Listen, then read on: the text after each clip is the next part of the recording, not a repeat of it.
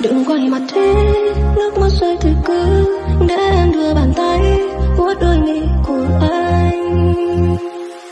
Đừng quay mặt đi.